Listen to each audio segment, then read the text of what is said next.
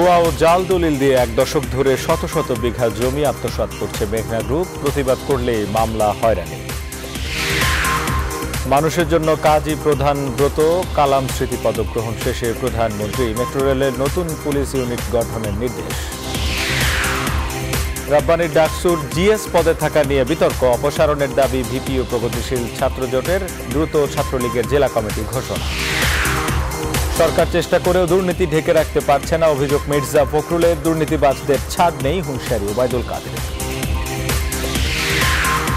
রংপুর উপনির্বাচনের সংসদের সরকার ও বিরোধী দলের সমঝোতা, সাদের জন্য মনোনয়নপত্র প্রত্যাহার করল নৌকার রাজু, পাঁচ এবং ত্রিদেশীয় সিরিজে পরবর্তী টি টোয়েন্টির দল ঘোষণা বিসিবির। বাদ করলেন সৌম্য, ফিরেছেন রুবেল, শফিউল, দলে তিন নতুন দল।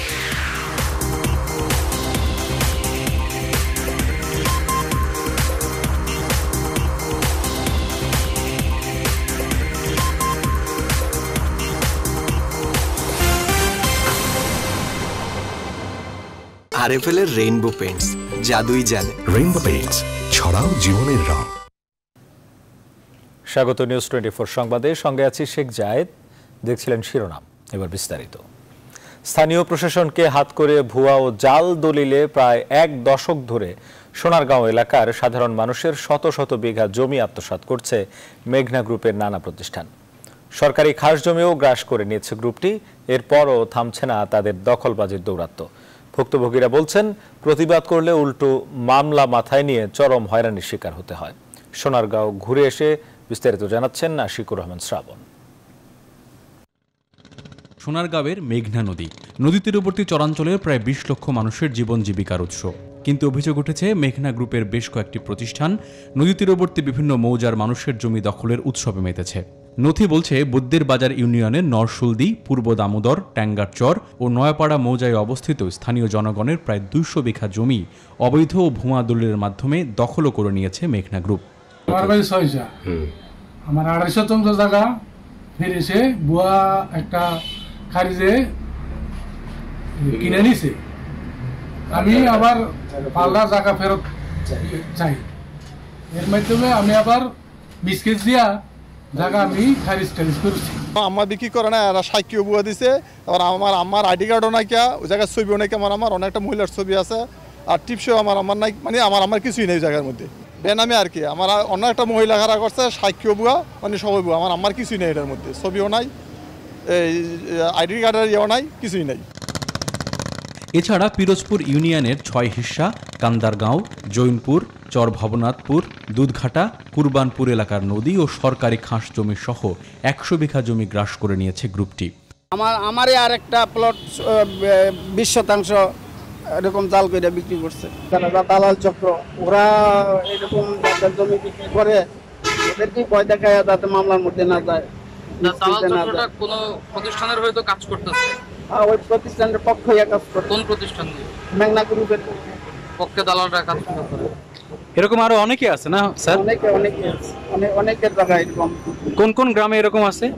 সহিসা আছে কান্দারগাঁও আছে জৈনপুর আছে। দখলের কৌশল হিসেবে ভুয়া দলিলকে প্রধান অস্ত্র হিসেবে ব্যবহার করছে মেঘনা গ্রুপ। এতে সর্বশান্ত হচ্ছেন সাধারণ মানুষ। মানি ফ্রেশ ফ্রেশ তো এই দেশের দেশটা নিয়ে নিছে সোনারগাঁটা হ্যাঁ। সব বড় উপর মহল হাত কইরা ধানের জমি যা আছে দুশো তো কিনে তিরিশ বিঘা বলতে বলে লায়। প্রতিবাদ করলে থানা পুলিশ হামলা মামলা এমপি মন্ত্রী সব তো হ্যাঁ পক্ষে। সাধারণ পাবলিকের পক্ষে কেউ নেই। এই যে আমি মুক্তা বলতেছি আমার উপরে কোন বিপদ হয়ে জানি না। সরেজমিনে গিয়ে দেখা গেছে মেঘনা নদীর বিভিন্ন পয়েন্টে পাঁচশো থেকে সাতশো ফুট ভিতরে ঢুকেও নদী দখলের তুগলকি কাণ্ড ঘটিয়েছে মেঘনা group. Ashikur Rahman Shrabon news twenty four Sonargaon Narayanganj. প্রধানমন্ত্রী শেখ হাসিনা বলেছেন প্রতিবেশী দেশের সাথে সমস্যা থাকা স্বাভাবিক, তবে তা জনগণের কল্যাণে আলোচনার মাধ্যমেই সমাধান করতে হবে। ডক্টর কালাম স্মৃতি আন্তর্জাতিক এক্সিলেন্ট অ্যাওয়ার্ড গ্রহণ করে এসব কথা বলেন প্রধানমন্ত্রী। শেখ হাসিনা বলেন, ভারতের সঙ্গে গত দশ বছরে বাংলাদেশের সম্পর্ক নতুন উচ্চতায় পৌঁছেছে। তিনি প্রত্যাশা করেন দুদেশের মধ্যে চলমান দ্বিপাক্ষিক সহযোগিতার ধারা অব্যাহত থাকবে। শাহ আলী জয় রিপোর্ট। গুরুত্বপূর্ণ অবদানের জন্য বিশ্বের বিভিন্ন কীর্তিমান মানুষকে দেয়া হয়।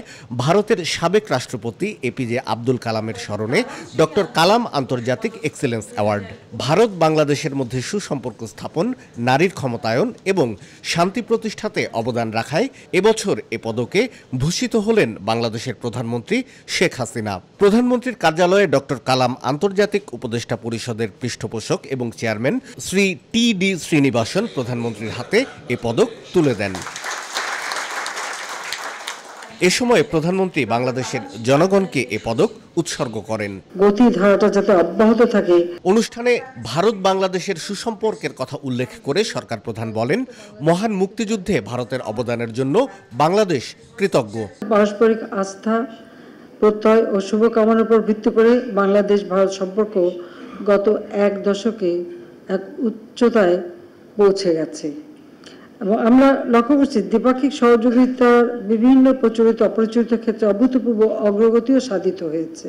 ছিটমহল বিনিময় বা স্থল সীমানা চুক্তি বাস্তবায়নের ক্ষেত্রে একটা উৎসবমুখর পরিবেশ সৃষ্টি করা যায় এটা বোধহয় পৃথিবীতে একমাত্র ভারত আর বাংলাদেশ একসাথে করতে পেরেছিল। শেখ হাসিনা বলেন প্রতিবেশীর সঙ্গে সমস্যা নিরসনে আলোচনার কোনো বিকল্প নেই। প্রতিবেশী দেশের সঙ্গে সমস্যা থাকে সমস্যা থাকাটা খুব স্বাভাবিক। সমস্যা দ্বিপাক্ষিক আলোচনার মাধ্যমে সমাধান করা, পাশাপাশি যে সমস্ত বিষয়গুলো আমরা একসাথে কাজ করতে পারি, কারণ আমাদের সব সময় চিন্তা করতে হয় জনগণের দিকে। জনগণ অর্থাৎ শুধু আমাদের দেশ, আমাদের প্রতিবেশী রাষ্ট্রগুলির জনগণও যেতে এর কোনো সুফলটা পেতে পারে, সেদিকে লক্ষ্য রেখেই কিন্তু সবসময় আমরা আমাদের পদক্ষেপ নিই। প্রধানমন্ত্রী বলেন এ অঞ্চলের অর্থনৈতিক উন্নয়নের সঙ্গে সঙ্গে শিক্ষার হারও বাড়ানো জরুরি। তাহলে জনগণের ভাগ্য নিয়ে কেউ আর ছিনিমিনি খেলতে পারবে না। Shah Ali Joy news twenty Dhaka. ঢাকার মেট্রো রেলের জন্য আলাদা পুলিশ ইউনিট করার নির্দেশ দিয়েছেন প্রধানমন্ত্রী শেখ হাসিনা। সোমবার প্রধানমন্ত্রীর কার্যালয়ে মেট্রো রেলের অগ্রগতি বিষয়ে এক পর্যালোচনা সভায় তিনি এই নির্দেশ দেন। বৈঠকে পাওয়ার পয়েন্টের মাধ্যমে মেট্রো রেল প্রকল্পের সর্বশেষ অগ্রগতি তুলে ধরা হয় সরকার প্রধানের কাছে। সময় মতো এই প্রকল্পের কাজ শেষ করতে গুরুত্ব দেন প্রধানমন্ত্রী শেখ হাসিনা। সময় প্রকল্প বাস্তবায়নের ক্ষেত্রে প্রয়োজনীয় দিক নির্দেশনা দেন তিনি।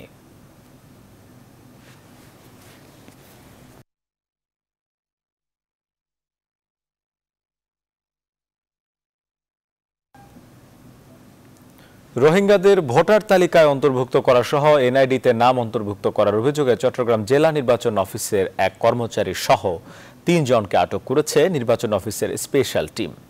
আটক তিনজনকে পুলিশের হাতে তুলে দিয়েছে আঞ্চলিক নির্বাচন কর্মকর্তা হাসানুজ্জামান। সোমবার রাত এগারোটার দিকে ওই তিনজনকে আটক করা হয়। আটক তিনজনের মধ্যে জয়নাল আবেদিন চট্টগ্রাম নগরীর ডবলমুরিং থানা নির্বাচন অফিসের অফিস সহায়ক। তার সঙ্গে আটক হয়েছে বিজয় দাস ও তার বোন সীমা দাস। বিজয় দাস, পেশায় গাড়ি চালক আর সুমাইয়া চট্টগ্রাম সরকারি জেনারেল হাসপাতালের আয়া পদে অস্থায়ী ভিত্তিতে কর্মরত রয়েছেন। এ সময় চট্টগ্রাম আঞ্চলিক নির্বাচন কর্মকর্তা মোহাম্মদ হাসান উজ্জামান জানান, জেলা নির্বাচন কার্যালয়ে গত মাসে জাতীয় পরিচয়পত্র নিতে আসা লাকি আক্তার নামে এক রোহিঙ্গা নারীকে আটকের পর ইসির পক্ষ থেকে তদন্ত কমিটি গঠন করা হয়। আমাদের অফিসের একজন এই ঘটনার সাথে সম্পৃক্ত আছে এরকম একটা সূত্র পাওয়ার পরে আমরা সন্দেহ করি এবং বিভিন্ন বিষয়াদি যাচাই বাছাই করে দেখা যায় যে তার যোগ সাজস আছে। অফিস এবং জেলা নির্বাচন অফিসের আমরা কর্মকর্তা এবং যারা উপজেলা থানা আছে, আমরা মিলে জিজ্ঞাসাবাদ করে ইতিমধ্যেই আমরা তার মাধ্যমে একটি ল্যাপটপ উদ্ধার করতে সক্ষম হই। বিস্তারিত জানতে সরাসরি যাচ্ছি চট্টগ্রামে। আমাদের সঙ্গে যুক্ত হচ্ছেন সহকর্মী নয়ন বড়ুয়া। জয় জয়। আমাদের বিস্তারিত জানাবেন নির্বাচন কর্মকর্তারা কি বলছেন? এই যে তিনজনকে আটক করা হলো সুনির্দিষ্ট অভিযোগের প্রমাণ পাওয়ার পরই নিশ্চয়ই নির্বাচন কমিশন তাদেরকে পুলিশের হাতে তুলে দিয়েছে। কি বলছেন নির্বাচন কর্মকর্তারা?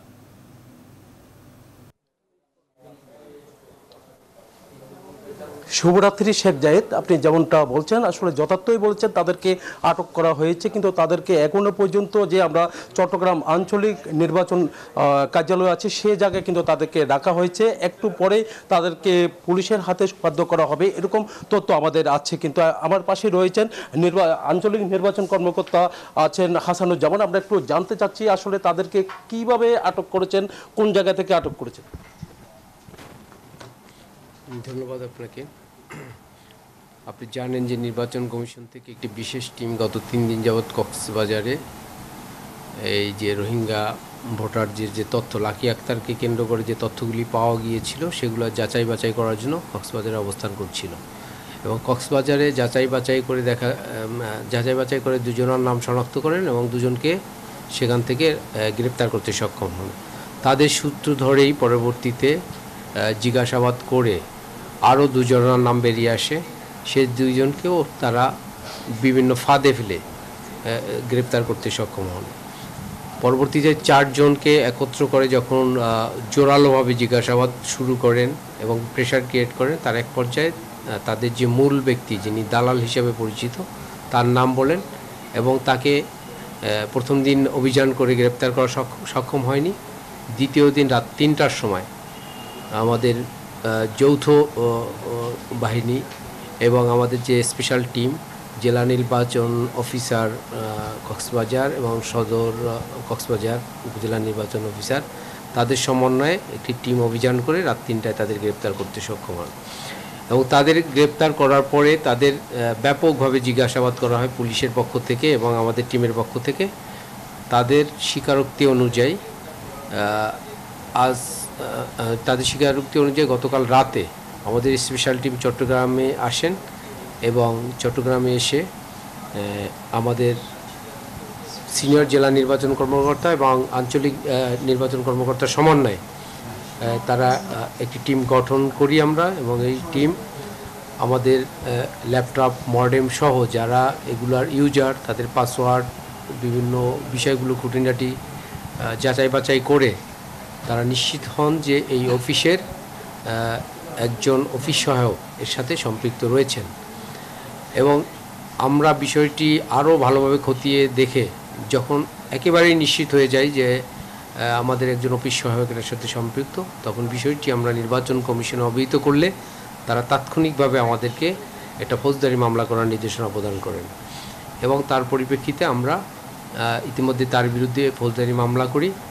এবং আমাদের স্পেশাল টিম এবং জেলা নির্বাচন অফিসার সিনিয়র জেলা নির্বাচন অফিসার চট্টগ্রাম এবং আঞ্চলিক নির্বাচন কর্মকর্তা তাকে ব্যাপক জিজ্ঞাসাবাদের ফলে এক পর্যায়ে তিনি স্বীকার করেন যে একটি ল্যাপটপ তার কাছে আছেন এবং আমরা কোথায় আছেন সেটা জানার চেষ্টা করি এবং ব্যাপক জিজ্ঞাসাবাদের ফলে তিনি বলেন যে এটা অমুকের কাছে আছে। তার আর কেউ কেউ তাদের সাথে জড়িত আছে কিনা? জি জি প্লিজ এবং জিজ্ঞাসাবাদের ফলে উনি বলেন যে ওনার এক ফ্রেন্ড তার কাছে ল্যাপটপটি আছে। তো পরবর্তীতে জানলাম যে উনি মূলত সম্পর্ক ছোট ভাইয়ের সাথে। ওনার ফ্রেন্ড হলো তার বোন মানে মেয়ে আর কি। তারপরে ওই, ওনাদেরকে আমরা বলি যে এই ল্যাপটপটা ওনার মাধ্যমেই আমাদের জয়লাল সাহেবের মাধ্যমে বলি যে ল্যাপটপটা আমাদেরকে দিয়ে দাও তাহলে আমরা তোমাকে যাতে তোমার শাস্তিটা কম হয় আমরা সুপারিশ করব। সে ইয়েতে পড়েই লোভে পড়েই সে ওনাদের মাধ্যমে ল্যাপটপটি আমাদের অফিসে নিয়ে আসেন এবং তার পরিপ্রেক্ষিতে আমরা সন্দেহভাজন হিসাবে যাদের কাছে ল্যাপটপ ছিল তাদেরকে আমরা জিজ্ঞাসাবাদের জন্য এখানে গ্রেপ্তার করি। দুদকও কিন্তু আমরা দেখলাম, গতকাল কিন্তু তারা তদন্ত শুরু করেছে। তাদের তদন্তের ভিত্তিতে কিন্তু দেখা গেল যে নির্বাচন অফিসের কর্মকর্তা বা বিভিন্ন জায়গায় তারাও কিন্তু সম্পৃক্ত আছে। আসলে সেদিকে আপনাদের তদন্ত কোন দিকে আসলে দুগ্ধক কিসের ভিত্তিতে ছয়জন কর্মকর্তার কথা বলেছেন, ওটা ওনারাই ওনাদের বক্তব্য পরিষ্কার করবেন। এ বিষয়ে আমার কোনো বক্তব্য নাই। তবে আমি আপনাদের কাছে দ্ব্যর্থহীনভাবে বলতে পারি যে, রোহিঙ্গা ভোটারদের বিষয়ে নির্বাচন কমিশন যে সংখ্যা প্রকাশ করেছিল এবং তারা তাদের প্ল্যান মাফিকই রোহিঙ্গাদের গ্রেফতার করেছে এবং প্রথম থেকেই তারা তৎপর ছিল যে, রোহিঙ্গা একটি ভোটারও যাতে ডাটাবেজে না থাকে, সেজন্য যে কোনো মূল্যে। রোহিঙ্গাদের শনাক্ত করতে হবে এবং ইতিমধ্যেই আপনারা জেনেছেন আমাদের মাধ্যমে যে আমরা ছয়জন রোহিঙ্গা সহ মোট আমরা সাতজনকে মামলা দিয়েছি এবং গ্রেপ্তার করেছি এবং সন্দেহভাজন আরও দুজনকে জিজ্ঞাসাবাদের জন্য আটক করা হয়েছে। তো নির্বাচন কমিশন যাতে একটি রোহিঙ্গা ভোটার ডাটাবেজে না থাকতে পারে, সেজন্য সচেষ্ট আছে এবং নির্বাচন কমিশনের বক্তব্য হলো, জিরো টলারেন্স কোনোভাবেই আমাদের যে ভোটার তালিকা বা আমাদের যে ডাটাবেজ আছে তার ভিতরে একটি রোহিঙ্গাও প্রবেশ করতে পারবে না এবং প্রবেশ করতে দেওয়া হবে না। জেলা নির্বাচন কর্মকর্তা আছেন মনির হোসেন কারণ আমরা একটু জানতে চাচ্ছি আপনার থেকে যে আটক করেছেন তাদেরকে এখন বর্তমান এ, কোন অবস্থায় আছে বা কোথায় তাদেরকে হস্তান্তর করবেন? আমরা ইতিমধ্যে কোতোয়ালি থানাকে অবহিত করেছি। সংশ্লিষ্ট কর্মকর্তারা এসছেন তারাও প্রাথমিকভাবে জিজ্ঞাসাবাদ করছেন এবং আমরা একটা মামলা করার প্রস্তুতি নিচ্ছি। আমরা কিছুক্ষণের মধ্যে একটা মামলা দায়ের করব নির্বাচন কমিশন সচিবালয়ের নির্দেশনা অনুসারে। ধন্যবাদ আপনাকে। যাই আমরা এতক্ষণ ধরে কথা বলেছি নির্বাচন কর্মকর্তাদের সাথে। তারা বলছিলেন যে তাদের সাথে যদি আরও কেউ জড়িত আছে কিনা তারা তদন্ত করছে বলে আমাদেরকে জানিয়েছেন। তো এই ছিল আমার এখানকার সর্বশেষ। ফিরে যাচ্ছে স্টুডিওতে জাহিদের কাছে। নয়ন বড়ুয়া জয়। আপনাকে ধন্যবাদ। সহকর্মী নয়ন বড়ুয়া যুক্ত হয়েছিলেন চট্টগ্রাম থেকে। জানাচ্ছিলেন, রোহিঙ্গাদেরকে ভোটার আইডি করে দিতে কাজ করছিল একটি চক্র। সেই চক্রের তিনজনকে আটক করেছে নির্বাচন কমিশন এবং তাদেরকে পুলিশে সোপর্দ করা হচ্ছে। এই বিষয়ে বিস্তারিত জানাচ্ছিলেন তিনি। যাচ্ছি পরের সংবাদে। এবার ডাকসুর জিএস পদে গোলাম রব্বানির পদত্যাগ চাইলেন ডাকসু ভিপি নুরুল হক নূর তার সঙ্গে কাজ না করার কথাও জানান তিনি। ডাকসুর সাবেক ভিপি মাহফুজা খানমও মনে করেন, গোলাম রব্বানির পদত্যাগ করা উচিত। তবে গঠনতন্ত্র অনুযায়ী ডাকসু পরিচালনার কথা বললেন ডাকসুর সভাপতি ও ঢাকা বিশ্ববিদ্যালয়ের ভিসি অধ্যাপক ডক্টর মোহাম্মদ আখতারুজ্জামান। তৌফিক মাহমুদ মুন্না রিপোর্ট। শনিবার রাতে ছাত্রলীগের সভাপতি রেজন হক চৌধুরী শোভন এবং সাধারণ সম্পাদক গোলাম রাব্বানিকে অব্যাহতি দেওয়া হয়। গণভবনে আওয়ামী লীগের কেন্দ্রীয় কার্যনির্বাহী সংসদের সভায় ছাত্রলীগের নতুন ভারপ্রাপ্ত সভাপতি এবং সাধারণ সম্পাদকের নাম ঘোষণা করা হয়। Number one vice president acting president হিসেবে দায়িত্ব পালন করবে এবং number one joint secretary acting general secretary হিসেবে দায়িত্ব পালন করবে। নৈতিক স্খলনের অভিযোগে ছাত্রলীগের পদ হারানোর পর গোলাম রাব্বানির ডাকসুর জিএস পদে থাকা নিয়ে এবার প্রশ্ন উঠেছে। ডাকসুর ভিপি ঘোষণা দিয়েছেন, তিনি গোলাম রব্বানির সঙ্গে কাজ করবেন না। ডাকসুর সাবেক ভিপি মাহফুজা খানম বলছেন, গুরুতর সব অভিযোগ ওঠার পর গোলাম রব্বানি ডাকসুর জিএস এবং বিশ্ববিদ্যালয়ের সিনেট সদস্য পদে থাকা উচিত নয়। একটা ছাত্র সংগঠন তাকে বা তার এই ধরেন হচ্ছে যে নৈতিক স্খলনজনিত কারণে রাখে নাই। সেখানে ডাকসুতে কীভাবে রাখবে? ডাকসুতে তো সকল ছাত্র সংগঠন, এই জিএস নিয়ে আমি কাজ করতে আগ্রহী না, কারণ যার বিরুদ্ধে এরকম একটা অভিযোগ রয়েছে, তার সাথে কাজ করা মানে নিজেকেও নিজেকেও নৈতিকতার জায়গায় প্রশ্নবিদ্ধ একটা স্থানে নিয়ে যাওয়া। তার যে নৈতিক পদস্খলন হয়েছে, অর্থনৈতিকভাবে অর্থনৈতিক কারণে এবং তার নিজের কাছ থেকে, নিজ থেকে আমি মনে করি যে যদি বুদ্ধিমান ছেলে হয়, তবে মনে করি তার নিজেই ডাকসুর জেনারেল সেক্রেটারি পদ থেকে সরে আসা উচিত। ব্যবস্থা নেওয়ার ব্যাপারে ডাকসু সভাপতি ও ঢাবি ভিসি পরিষ্কার কিছু বলেননি। তবে তিনি মনে করেন গঠনতন্ত্র অনুযায়ী ডাকসু পরিচালিত হওয়া উচিত। রিলেটিভ বিষয়গুলো ভ্যালু জাজমেন্টটা অন্য বিষয়। আমাদের ডাকসু পরিচালনার জন্য যে সুনির্দিষ্ট বিধিবিধান আছে এটি অনুসরণ করতে হবে। এবং মূল্যবোধটি হলো এরকম যে ব্যক্তি ইচ্ছা অনিচ্ছার গুরুত্ব কম। রীতিনীতি আইন অনুসরণ করে আইনের শাসন সকলের জন্য সমভাবে প্রয়োগ করা। এটি আমাদের একটি নৈতিক দায়িত্ব। এদিকে সোমবার বিকেলেই ছাত্রলীগের অব্যাহতিপ্রাপ্ত সভাপতি শোভন সিনেট সদস্য পদ থেকেও অব্যাহতি চেয়েছেন। Toufiq Mahmud Munna news twenty Dhaka. দুর্নীতির দায়ে ছাত্রলীগের সাধারণ সম্পাদক পদ থেকে অপসারিত হওয়ার পর আহ, ঢাকা বিশ্ববিদ্যালয় কেন্দ্রীয় ছাত্র সংসদ ডাকসুর জিএস পদ থেকে তার অপসারণ চেয়েছে প্রগতিশীল ছাত্রজোট। সোমবার সকালে মধুর ক্যান্টিনে সংবাদ সম্মেলনে এই দাবি জানান জোটের নেতারা। একই সঙ্গে নতুন করে ডাকসু নির্বাচনের দাবিও জানান তারা। দুর্নীতির অভিযোগের মাথায় নিয়ে নিজ সংগঠন থেকে অব্যাহতি পাওয়া কোনো ব্যক্তি ঢাকা বিশ্ববিদ্যালয় কেন্দ্রীয় ছাত্র সংসদ তথা ডাকসুর কোনো পদে আর থাকতে পারেন না। বর্তমান বাস্তবতায় দাঁড়িয়ে ডাকসুর অতীত ঐতিহ্য সমুন্নত রাখার জন্য অবিলম্বে এই ডাকসু অবৈধ ঘোষণা করে পুনর্নির্বাচনের দাবি আমরা জানাচ্ছি। শিগগিরই ছাত্রলীগের মেয়াদ উত্তীর্ণ জেলা কমিটি করার কথা জানিয়েছেন ছাত্রলীগের ভারপ্রাপ্ত সভাপতি আল নাহিয়ান জয়। সোমবার দুপুরে ধানমন্ডি বত্রিশে জাতির জনক বঙ্গবন্ধু শেখ মুজিবুর রহমানের প্রতিকৃতিতে শ্রদ্ধা নিবেদন করেন ছাত্রলীগের ভারপ্রাপ্ত সভাপতি ও সাধারণ সম্পাদক। তারা বলেন, যে কোনোভাবেই হোক, দলের বিশৃঙ্খলা রোধ করা হবে। একই দলের ভেতরে কেউ যদি কোনো চাঁদাবাজি বা অন্য কোনো অভিযোগ পাওয়া যায়, সেক্ষেত্রে তদন্তের মাধ্যমে ব্যবস্থা নেওয়া কথাও জানান তারা। কমিটির বিরুদ্ধে যাদের যারা নেতা হয়েছে কিংবা পদ প্রত্যাশী যারা আছে তাদের বিরুদ্ধে যদি কোনো ধরনের কোনো অভিযোগ থাকে সেই অভিযোগগুলো আমরা তদন্তের সাপেক্ষে আমরা বিশেষ ব্যবস্থা গ্রহণ করব। যত দ্রুত সম্ভব একটি সুষ্ঠু তদন্ত বিভিন্ন বিষয় থাকে অনেক জায়গায় খোঁজখবর নিতে হয় আমাদের নেত- নেতা বানাতে গেলে। তো আমরা এই খবরটা নিয়ে অন্তত আগামী নেতৃত্ব নির্বাচন করব। দলের ভেতর দুর্নীতিবাজরা যত বড় নেতাই হোক, কাউকে ছাড় দেয়া হবে না। পরিষ্কার জানিয়েছেন সড়ক পরিবহন ও সেতুমন্ত্রী ওবায়দুল কাদের। সোমবার সকালে বিআরটিসি কার্যালয়ে সংস্থার কর্মকর্তাদের সঙ্গে মতবিনিময় সভায় তিনি কথা জানান। ওবায়দুল কাদের বলেন, দলের ভেতর দুর্নীতিবাজদের বিরুদ্ধে শুধু সাংগঠনিক নয়, প্রশাসনিক ব্যবস্থাও নেওয়া হবে। প্রধানমন্ত্রী তার নিজস্ব গোয়েন্দা সেল দিয়ে পর্যবেক্ষণ করছেন বলেও জানান তিনি। একই সঙ্গে বিআরটিসিতে শুধু নতুন বাস আমদানির সমাধান নয় জানিয়ে দুর্নীতিবাজ কর্মকর্তাদের বিরুদ্ধে ব্যবস্থা নিতে সংস্থার চেয়ারম্যানকে নির্দেশ দেন সড়ক পরিবহন সেতুমন্ত্রী। প্রধানমন্ত্রী ইনফরমেশন পাচ্ছেন। এখানে বিভিন্ন গোয়েন্দা সংস্থাও এবং প্রধানমন্ত্রী নিজস্ব সেল আছে। যারা এসব ইনফরমেশনগুলো সংগ্রহ করছে। আমি কথা বলতে পারি যে যত বড় নেতাই হোক, যত প্রভাবশালী ব্যক্তি হন, দলের ভেতরে এ ধরনের অপকর্মের সঙ্গে যারাই জড়িত থাকবে, কোনো অবস্থাতেই তাদেরকে ছাড় দেওয়া হবে না। দেশের প্রতিটি ক্ষেত্রে দুর্নীতি এমনভাবে বিস্তার ঘটেছে যে সরকার এখন আর ঢেকে রাখতে পারছে না। এমন অভিযোগ করেছেন বিএনপির মহাসচিব মির্জা ফখরুল ইসলাম আলমগীর।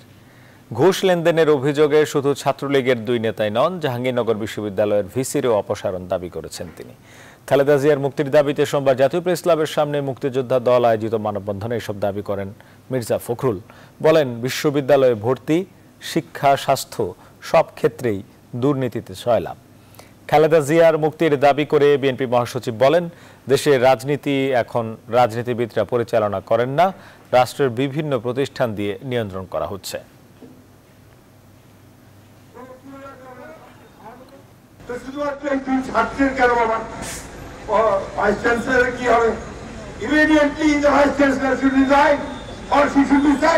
কোথায় আছে আপনার এই দুর্নীতি মুক্ত জায়গা? কোথায়? প্রতিটি জায়গায় পরীক্ষা, স্বাস্থ্য ব্যবস্থা, শিক্ষা ব্যবস্থা, বিচারালয় কোথাও যাওয়া যায় এদিকে বিএনপি মহাসচিব মির্জা ফখরুল ইসলাম আলমগীর অভিযোগ করেছেন, দেশ এখন পাপেট এক সরকার চালায়, যারা আন্তর্জাতিক কোনো সমস্যায় প্রতিবাদ করতে পারে না। আসাম থেকে বাংলাদেশে পুশিন করার কথা বলা হয়, তারা প্রতিবাদ করতে পারে না। সোমবার রাজধানীতে আন্তর্জাতিক গণতন্ত্র দিবস উপলক্ষে নাগরিক ঐক্য আয়োজিত আলোচনা সভায় তিনি অভিযোগ করেন। বলেন, নতজানু পররাষ্ট্রনীতির কারণে এরা রোহিঙ্গা সমস্যার কোনো সমাধানই করতে পারছে না। আজকের সরকার প্রকৃতপক্ষে তারা একটা সম্পূর্ণভাবে একটা পাপেট গভর্নমেন্টে পরিণত হয়েছে। যখন আসামে প্রায় উনিশ লক্ষ মানুষকে রাষ্ট্রহীন করা হয়, তাদেরকে বলা হয় তারা সবাই বাংলাদেশ থেকে এসছে বাংলাদেশে ছেড়ে দেওয়া হবে, তখন এই নতজানু সরকারকে কোনো প্রতিবাদ করতে আমরা দেখি না। রংপুর তিন আসনের উপনির্বাচনে মনোনয়নপত্র প্রত্যাহার করলেন আওয়ামী লীগ প্রার্থী রেজাউল করিম রাজু। তার প্রার্থিতা প্রত্যাহারের ফলে এই নির্বাচনে প্রতিদ্বন্দ্বী প্রার্থী রইলেন ছয়জন তবে এই ঘটনায় হতাশা প্রকাশ করেছেন রংপুর আওয়ামী লীগের নেতারা। রেজাউল করিম মানিকের তথ্য, ছবিতে ডেস্ক রিপোর্ট। জাতীয় পার্টিকে সমর্থনের অংশ হিসেবে রংপুর তিন আসনের উপনির্বাচন থেকে সরে দাঁড়াল আওয়ামী লীগ। সোমবার প্রার্থিতা প্রত্যাহারের শেষ দিনে মনোনয়নপত্র প্রত্যাহার করে নেন আওয়ামী লীগের প্রার্থী অ্যাডভোকেট রেজাউল করিম রাজু। রাজুর প্রার্থিতা প্রত্যাহারের প্রতিবাদে সোমবার বিকেলে শহরের ডিসি রোড অবরোধ করে আওয়ামী লীগের বিভিন্ন অঙ্গ সংগঠনের নেতাকর্মীরা। আমাদের যে রংপুরে যে চার লক্ষ ভোটার আছে আমরা সবাই নাকশ হয়ে গেছে। সাধারণ জনগণ যারা তারা আসলে সবাই মনক্ষুণ্ণ যে আমরা আবার বঞ্চনার শিকার হচ্ছি। আমরা নৌকায় ভোট দিতে পারলাম না আমাদের রংপুরের উন্নয়নটা আবারও একটু পিছিয়ে যাচ্ছে আওয়ামী লীগের প্রার্থী থাকছে না। দলীয় এই সিদ্ধান্তে হতাশ আওয়ামী লীগের স্থানীয় নেতারাও। আজকে আমাদের রংপুর মহানগর আওয়ামী লীগ রংপুর জেলা আওয়ামী লীগ যারা আওয়ামী লীগ পরিবার। আমাদের জন্য অত্যন্ত বেদনার দিন দুঃখের দিন। অ্যাডভোকেট রেজাল করিম রাজু ভাই উনি আমাদের নেত্রীর প্রতি শ্রদ্ধা রেখে আস্থা রেখে ওনার মনোনয়নপত্র প্রত্যাহার করে নিলেন। রেজাউল করিম রাজু বলছেন দলের সর্বোচ্চ সিদ্ধান্তকেই মেনে নিয়েছেন তিনি। জাতীয় রাজনীতির কারণে আমরা এই জায়গাটা আমাদের ছেড়ে দিতে হয়েছে। আমাদের দুর্ভাগ্য রংপুরের জনগণের। এই সুযোগটি নিয়ে আমাদের রংপুরের উন্নয়নের ধারাকে ব্যাহত করা হয়েছে। পাঁচ অক্টোবরের এই নির্বাচনে প্রতিদ্বন্দ্বিতা করবেন জাপার সাদ এরশাদ, বিদ্রোহী আসিফ শাহরিয়ার, বিএনপি জোটের রিটা রহমান সহ ছয় প্রার্থী। Hasan Kamrul, news twenty daily star সম্পাদক মাহফুজ আনামকে সভাপতি এবং বাংলাদেশ প্রতিদিন সম্পাদক নঈম নিজামকে সাধারণ সম্পাদক করে সম্পাদক পরিষদের নতুন কমিটি গঠন করা হয়েছে। সোমবার কারওয়ান বাজারে ডেইলি স্টার সেন্টারে অনুষ্ঠিত সম্পাদক পরিষদের বৈঠকে নতুন এই নির্বাহী কমিটি গঠন করা হয়। দুই বছরের জন্য গঠিত এই কমিটি দায়িত্ব গ্রহণ করবে আগামী পয়লা অক্টোবর।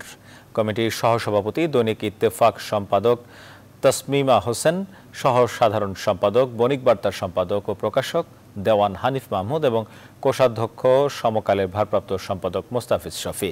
এছাড়া চারজন নির্বাহী সদস্য নির্বাচিত হয়েছেন। তারা হলেন ভোরের কাগজ সম্পাদক শ্যামল দত্ত, মানব জমিন সম্পাদক মতিউর রহমান চৌধুরী, যুগান্তরের ভারপ্রাপ্ত সম্পাদক সাইফুল আলম এবং দৈনিক আজাদির সম্পাদক এম এ মালেক।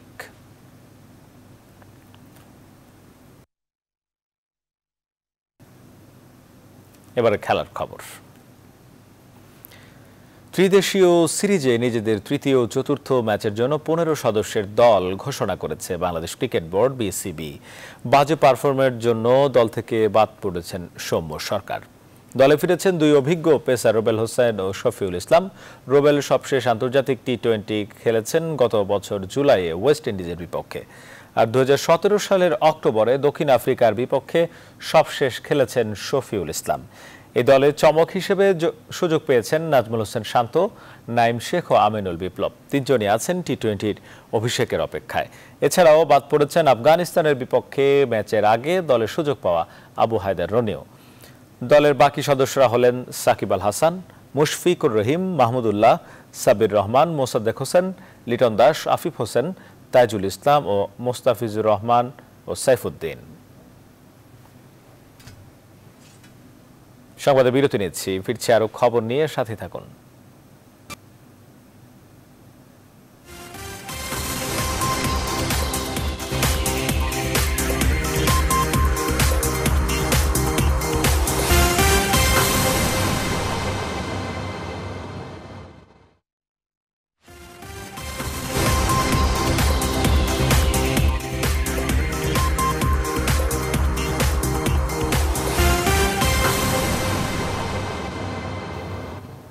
বিরতির পর আবার স্বাগত। দেখছেন নিউজ টোয়েন্টি ফোর সংবাদ, এবারে প্রবাসের খবর।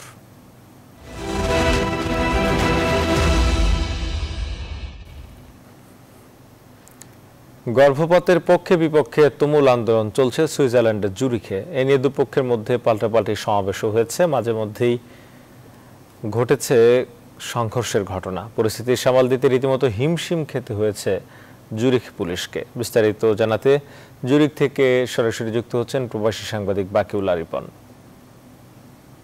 যারা বাকিউল্লা রিপন, আপনাকে স্বাগত জানাচ্ছি। গর্ভপাত ইস্যু নিয়ে জুরিক এত উত্তাল কেন?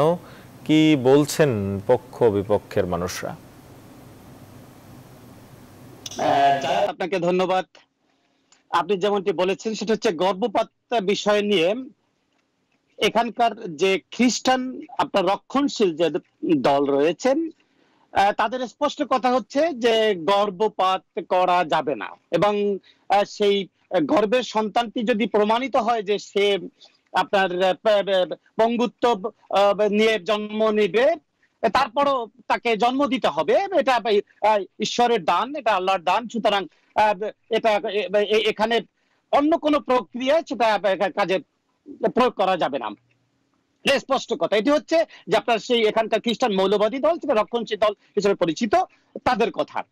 এবং পাশাপাশি সেটি হচ্ছে যে এখানকার যে জুরিকের যে আপনার প্রগতিশীল যুব সংগঠন যেটা তাদের কথা হচ্ছে যে না, এখানে আধুনিক চিকিৎসা বিজ্ঞানকে গ্রহণ করতে হবে, আধুনিকতাকে গ্রহণ করতে হবে, এবং সেই পুরনো যে ধ্যান ধারণা আছে, এগুলো বাদ দিয়ে আপনাকে সেই প্রগতির পথে হাঁটতে হবে। প্রগতির পথে এই নিয়ে আসলে দুটো সমাবেশ ছিল এখানে। একদিনে এবং এখানকার প্রশাসন অনুমোদিত সমাবেশ ছিল। সেটা মাঝখানে যেটি হচ্ছে যে এখানকার যে আপনার উগ্র বামপন্থী একটা গ্রুপ আছে, একটা দল আছে, এখানে বেশ পরিচিত, যাদের যারা সাধারণত অনুমোদিত আপনার মিছিল মিটিং এখানে সাধারণত করে থাকে সমাবেশ করে থাকে। তারা মাঝখানে এসে কিছু ঝামেলাটা তারা এখানে প্রতিবাদ করতে গিয়ে এখানে এই অনেকটা রণক্ষেত্রের মতো তৈরি হয়েছিল এখানে যেটা সাধারণত হয় না। এখানে এরকম একটি পরিস্থিতি সাধারণত তৈরি হয় ফুটবল খেলা নিয়ে। আপনি জানেন যে ইউরোপের যখন ফুটবল খেলাগুলো এখানকার ফুটবলের যে ফ্যানগুলো থাকে ফ্যান ক্লাবগুলো থাকে তারা সাধারণত এখানে আপনার এই বিভিন্ন আপনার দাঙ্গা হাঙ্গামা এতে সাধারণত জড়িত থাকে। যাই হোক, আপনাকে একটি তথ্য বলি সেটি হচ্ছে যে সুইজারল্যান্ড হচ্ছে এইসব দাঙ্গা মোকাবেলা করার জন্য সুইজার পুলিশের মধ্যে একটা বিশেষ শ্রেণির পুলিশ এখানে আছে? সেটি হচ্ছে আপনার ডায়ালগ পুলিশ নামে পরিচিত। এটা আপনার দুই হাজার এগারো সালে প্রতিষ্ঠিত হয়। এদের কাজ হচ্ছে কি? আপনার দুই পক্ষের সাথে আপনার তারা ডায়ালগ করে সাধারণত, আপনার আলাপ আলোচনা করে সাধারণত তারা সমস্যার সমাধানগুলো করে। তারা এখানে গ্রেপ্তারে যায় না অথবা তারা এখানে লাঠি চার্জ করে না। এখানে তারা কোনো অস্ত্র ব্যবহার করে না, কাঁদনে গ্যাস ব্যবহার করে না। তারা যেটা করে হচ্ছে যে হচ্ছে আলোচনা আলোচনা আলোচনা আলোচনা আলোচনা করেই তারা আপনার এই এই সমস্যার সমাধানগুলো তারা করে থাকে। এটা এটা এক সময় সেই মনে করেন সেই এক দুশো বছর আগে এখানকার গ্রাম পুলিশরা সাধারণত এখানে এই জাতীয় এই ভূমিকা পালন পালন করতো। সেই ভূমিকাগুলো পালন করে এরা খুব চমৎকার ফলাফল এখানে সুইজের প্রশাসন এবং পুলিশ এখানে পাচ্ছে। যাই হোক, আপনাকে যেটি বলি সেটি হচ্ছে যে এখানে কেন এত বড় একটি আপনার সেই উন্নত দেশেও কেন এখনও আপনার সেই খ্রিস্টান মৌলবাদী সংগঠনগুলো সেই গর্ব- গর্ভপাত না ঘটানোর বিষয়গুলো এখানে নিয়ে আসছেন। তবে এখানে এখানে তাদের সমাবেশে তাদের যে এমপি যে উনি খুব স্পষ্ট করে বলেছে, সেটি হচ্ছে যে হ্যাঁ এখানে গর্ভপাত যদি না করে, এই শিশুটিকে যদি জন্ম দেওয়া হয়, তবে আপনি জানেন এখানে একটি উইন্ডোজ, বেবি উইন্ডোজ নামে একটি ব্যবস্থা আছে। বেবি উইন্ডোজ হচ্ছে গিয়ে যে কোনো শিশু জন্মগ্রহণ করলে তার বাবা মা অথবা বাবা মা যদি নাও মানে বাবা যদি নাও থাকে, শিশুর পরিচয় যদি নাও থাকে এবং শিশুর মা যদি সেই শিশুকে লালন পালনের সামর্থ্য না রাখে, তবে তাকে হাসপাতালের সেই জানালায় তারা রেখে আসতে পারে। এই বিষয়টিকে বলা হয় আপনার বেবি ফেন্সটা বেবি ফেন্সটার বা বেবি উইন্ডোজ এই বেবি উইন্ডোজে যে কোনো আপনার মা তার নবজাত শিশুকে সেখানে রেখে আসতে পারে বিশেষ একটা পদ্ধতিতে। এখানে তাকে কেউ কোনো প্রশ্ন করবে না, তাকে কেউ দেখবে না, এবং তাকে কেউ, এই- তার সন্তান নিয়ে কোনো প্রশ্নও করবেন না। সে যদি সে যদি সেই, আপনার সেই বেবি জানালাতে তাকে, তার নবজাতক শিশুটিকে রেখে আসে, রেখে আসার আপনার তিন মিনিটের মাথায় ওখানে আপনার সেটি হচ্ছে যে একটা অ্যালার্ম সেখানে বেজে যাবে এবং সেই শিশুটিকে হাসপাতাল কর্তৃপক্ষ আপনাকে সংরক্ষণ করে তাকে ব্যবস্থা গ্রহণ করবে। সুতরাং তাদের দাবি হচ্ছে যে একটি শিশু যদি জন্মগ্রহণও করে, সেখানে কোনো সমস্যা নেই। সুতরাং তার লালন পালনের ব্যবস্থা সরকার গ্রহণ করবে। সুতরাং শিশুটাকে জন্ম হতে দেওয়া উচিত। এটি হচ্ছে গিয়ে আপনার খ্রিস্টান যেই সেই আপনার কনজারভেটিভ যে দলগুলো যে দলগুলো তাদের বক্তব্য। ধন্যবাদ জনাব বাকিউল্লাহ রিপন আমাদের সঙ্গে যুক্ত হওয়ার জন্য। সুইজারল্যান্ড জুরিক থেকে যুক্ত হয়েছিলেন প্রবাসী সাংবাদিক। যারা বাকিউল্লাহ রিপন জানাচ্ছিলেন, গর্ভপাতের পক্ষে বিপক্ষে জুরিখে আন্দোলন চলছে। খ্রিস্টান মৌলবাদী যারা রয়েছেন, তারা এটির বিপক্ষে আন্দোলন করছেন। এ নিয়ে দুপক্ষ পাল্টাপাল্টি সমাবেশ করেছে। সংঘর্ষের ঘটনাও ঘটেছে। পরিস্থিতি সামাল দিতে হিমশিম খেতে হয়েছে পুলিশকে, জুরিখের পুলিশকে। জুরিক থেকে বিষয়ে বিস্তারিত জানাতে আমাদের সঙ্গে যুক্ত হয়েছিলেন প্রবাসী সাংবাদিক জনাব বাকিউল্লাহ রিপন। এবারে যাব স্পেনে। স্পেনের বার্সেলোনা থেকে আমাদের সঙ্গে সরাসরি যুক্ত হচ্ছেন প্রবাসী বাংলাদেশি ও তরুণ কমিউনিটি লিডার ইসমাইল হোসেন রেহান ইসমাইল হোসেন রেহান স্বাগত আপনাকে। জানতে চাই, বাংলাদেশে ডেঙ্গু ছড়িয়ে পড়েছে। স্পেনে এই ধরনের রোগ হয় কিনা? এডিস মশাবাহিত কোনো রোগ আছে কিনা? নগর পরিষ্কার পরিচ্ছন্নতার ব্যবস্থাপনাটা আসলে কি স্পেনে? রায়হান। ধন্যবাদ জানাচ্ছি জাহেদ আপনাকে। ভয়াবহ ধারণ করে গত দেখেছি যে ডেঙ্গুতে প্রতিদিনই হাজার হাসপাতালে যোগ হচ্ছেন এবং অনেক চিকিৎসা বঞ্চিত হচ্ছে কারণ সেই হাসপাতালে রোগীর ক্ষমতা, সেটি অতিমাত্রায় বৃদ্ধি পাওয়ায় কিন্তু অনেক চিকিৎসা সেবা থেকেও বঞ্চিত হয়েছেন তাদের সেবা নিতে এতে করে ডাক্তাররাও কিছুটা হলেও পেরেছেন। আহ, পুরোপুরিভাবে এখনও সমস্যার সমাধান দুই নগর পিতাকেই এবং উত্তর প্রশ্নে যারা তারা প্রথম উদ্যোগগুলো গ্রহণ করে। মশার সেটি যে অকার্যকর জনগণের দিয়েছে এবং সেখান কিন্তু কোনো ধরনের ফিডব্যাক পাওয়া যায় কারণে প্রথমত যে নিষ্ক্রিয় বা শেষ করার জন্য কিন্তু সঠিক হয় পরবর্তীতে যে, গাজীপুর সিটি কর্পোরেশনের মেয়র জাহাঙ্গীর তিনি কিন্তু বড় চালান আমরা দেখতে এনেছে। দেশবাসীর মাঝে সেটি বিতরণ ওষুধটি কিন্তু পরবর্তীতে দেখেছি তো হয়ে থাকে জমাট পানি থেকে আপনি বলেছেন যে মশার কোনো ধরনের গিয়েছে কিনা। মশা অথবা বিভিন্ন বাংলাদেশে কিন্তু যেই পরিষ্কার পরিচ্ছন্নতা কর্মীরা রয়েছেন, তাদের করে প্রশিক্ষণ দেওয়া হয় যে কীভাবে জায়গাটি পরিষ্কার করতে হবে অথবা কীভাবে এবং জীবাণু মুক্ত রাখা যায়।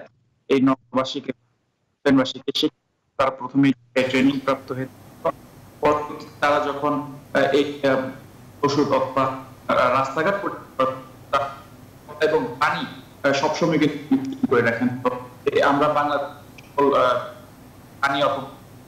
স্তূপ এই যদি পরিষ্কার করা তবে মুক্ত হবে। তো এই ছিল ধন্যবাদ, ইসমাইল হোসেন রায়হান আমাদের সঙ্গে যুক্ত হওয়ার জন্য। স্পেনের বার্সেলোনা থেকে যুক্ত ছিলেন প্রবাসী বাংলাদেশি ইসমাইল হোসেন রায়হান জানাচ্ছিলেন। বর্জ্য ব্যবস্থাপনা সম্পর্কে স্পেনের বিরতি নিচ্ছি সংবাদে ফিরছি একটু পর সাথে থাকুন।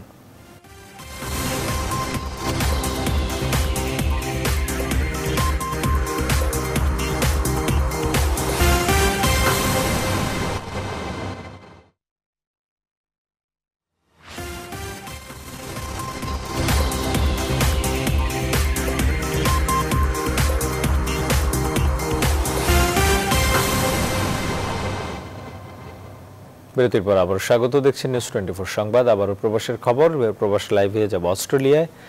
বৈধভাবে রেমিটেন্স পাঠালে দুই শতাংশ প্রণোদনা প্রদানের ঘোষণা দিলেও বাস্তবায়ন হয়নি আজও। এ নিয়ে ক্ষোভ প্রকাশ করেছেন সিডনিতে থাকা প্রবাসী বাংলাদেশিরা। এই বিষয়ে বিস্তারিত জানাতে যুক্ত আছেন সহকর্মী মাসুম বিল্লাহ জনাব মাসুম বিল্লাহ আপনার কাছে জানতে চাই, দুই শতাংশ প্রণোদনা প্রদান কেন কার্যকর হয়নি? প্রবাসীরা কি বলছেন? ধন্যবাদ আপনাকে। বাংলাদেশ বছর প্রবাসে কাজ কাম করার জন্য যারা বছরের পর বছর পরে পড়ে আছে, তারা কিন্তু বাংলাদেশে তারা বিদেশে যে টাকাটা ইনকাম করতেছে, সেই ইনকামের যে অংশটা কিন্তু, বেশি অংশটাই কিন্তু বাংলাদেশে পাঠিয়ে দিচ্ছে। আমরা দেখেছি অনেক সময় টাকা পাঠানোর জন্য কোনো সময়তে বাংলাদেশের সরকারি যেসব পন্থাগুলো আছে, সরকারিভাবে যেসব ব্যাংকগুলো আছে, সেগুলোর মাধ্যমে রেমিটেন্সে পাঠাচ্ছে, অনেক সময় আবার হুন্ডির মাধ্যমে পাঠাচ্ছে। গত কিছুদিন আগে সরকারের পক্ষ থেকে একটা সুন্দর একটা প্রপোজাল দেওয়া হয়েছিল, একটা সুন্দর একটা আইন করা হয়েছে যে যারা সরকারিভাবে যারা রেমিটেন্সের মাধ্যমে যারা টাকা বাংলাদেশে পাঠাবে, তাদেরকে কিন্তু দুই পার্সেন্ট প্রণোদনা দেওয়া হবে। কিন্তু এখন পর্যন্ত যারা এখান থেকে পাঠাচ্ছে, আমরা অস্ট্রেলিয়া প্রবাসী, বিভিন্ন বাংলাদেশিদের সাথে কথা বলে যেটুকু জানতে পেরেছি, এখন পর্যন্ত কেউ এই দুই পার্সেন্টের যেটা সরকারের যেটা ঘোষণা, এই ঘোষণা কিন্তু এখন পর্যন্ত কারোর বেলাতে বাস্তবায়ন হয়নি। আমরা জানি একটা বিষয় যে অস্ট্রেলিয়াতে অনেক ছাত্র পড়াশোনা করার কারণে কিন্তু এখানে বাংলাদেশ থেকে অনেক টাকা এখানে আসে। যেমন সেটা হুন্ডির মাধ্যমেও আসে, আবার সেটা সরকারিভাবেও আসে। আবার এখানে অনেক ছাত্ররা লেখাপড়া করার পাশাপাশি তারা যেমন ইনকামও করে, বাংলাদেশে টাকাও পাঠায়। তো অনেক টাকা যেমন হুন্ডির মাধ্যমে যায়, আবার অনেকে চেষ্টা করে যে না, এখানে হুন্ডি না, সরাসরি এখানে সরকারি যে নিয়মগুলো আছে, সেই নিয়মগুলো মেনে টাকাগুলো পাঠানো। বিশেষ করে এখানকার সরকারের বিভিন্ন নিয়ম কানুনের কারণে কিন্তু অনেকেই চেষ্টা করে যে টাকাগুলো বৈধভাবে বাংলাদেশে পাঠানোর জন্য। আর যখন সরকারিভাবে ঘোষণা আসছে যে দুই পার্সেন্ট প্রণোদনা দেবে, দুই পার্সেন্ট অনেকটা কিছুই না তারপরে সরকারের পক্ষ থেকে এটা কিন্তু প্রবাসীদেরকে উৎসাহিত করা হয়েছিল যে সরকারিভাবে কিংবা বৈধভাবে বাংলাদেশে টাকা পাঠানোর জন্য। কিন্তু এখন পর্যন্ত ঘোষণার এতদিন হয়ে গেলেও এখন পর্যন্ত কেউ কিন্তু এখনও পায় নাই যারা নিয়মিত বাংলাদেশে টাকা পাঠাচ্ছে, বিশেষ করে ব্যবসার ক্ষেত্রে কিংবা তাদের পরিবারের জন্য, তাদের অনেকের সাথে আমরা কথা বলে জানতে পেরেছি। এখন পর্যন্ত দুই পার্সেন্টের দূরের কথা, এক পার্সেন্টের কোনো নাম লেশো নাই। বরং যখন বাংলাদেশে টাকা পাঠানো হচ্ছে, তখন কিন্তু সরকারিভাবে এখানে যেমন সরকারকে আমাদেরকে পে করতে হচ্ছে, সেমন বাংলাদেশের সরকারকেও কিন্তু অনেকটা পে করতে হয়। এই জন্য রেমিটেন্সের যোদ্ধাদেরকে দুই দিক থেকেই কিন্তু তখন দেখা যাচ্ছে সরকারের পক্ষ থেকে, যে দেশের মাধ্যমে যাচ্ছে, সেই দেশ থেকেই কিন্তু সরকারের কাছে কিন্তু টাকা দিতে হচ্ছে। এই জন্য সরকার যেহেতু উদ্যোগ নিয়েছে, অনেকে আবার বলতে শুনতেছে আমরা যে এটা হচ্ছে সরকার উদ্যোগ নিয়েছে কিংবা সরকার এটা বাস্তবায়ন করতেছে বাট এটা কেউ বা কেউ এটা কারও কার সাজিতে হয়তো এখনও বন্ধ হয়ে আছে কিংবা কারও কার সাজিতে হয়তো এটা হচ্ছে না। কারণ যদি হুন্ডি বন্ধ হয়ে যায় ধন্যবাদ, মাসুম বিল্লাহ আমাদের সঙ্গে যুক্ত হওয়ার জন্য। অস্ট্রেলিয়া সিডনি থেকে যুক্ত হয়েছিলেন প্রবাসী সাংবাদিক মাসুম বিল্লাহ জানাচ্ছিলেন দুই শতাংশ প্রণোদনা প্রদান কার্যকর হয়নি, প্রবাসীরা এতে ক্ষোভ প্রকাশ করেছেন এ বিষয়ে। আর এই ছিল এখনকার সংবাদ আয়োজনে। পরের সংবাদ সকাল সাতটায় দেখার আমন্ত্রণ। সাথে থাকায় ধন্যবাদ সবাইকে।